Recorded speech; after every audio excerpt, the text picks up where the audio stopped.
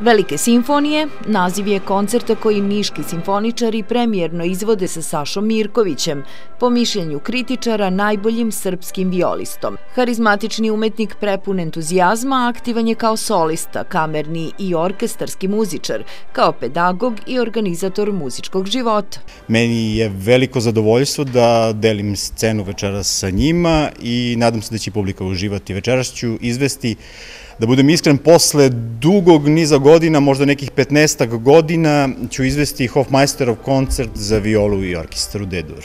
Diriguje Milena Injac. Imamo u startu jedno jednodušno mišljenje o ovoj muzici, što se reflektuje i kroz orkestarsko sviranje i pratnju ovog koncerta, tako da očekujem zaista izvanredan rezultat koji tek dostiže svoj vrhunac uvek na, na koncertu u Nišu, jer su niški simfoničari eh, jedan ansambl koji je izuzetno inspirisan scenom i uvek pruži najbolje na sceni. Na programu je i Mozartova simfonija Jupiter.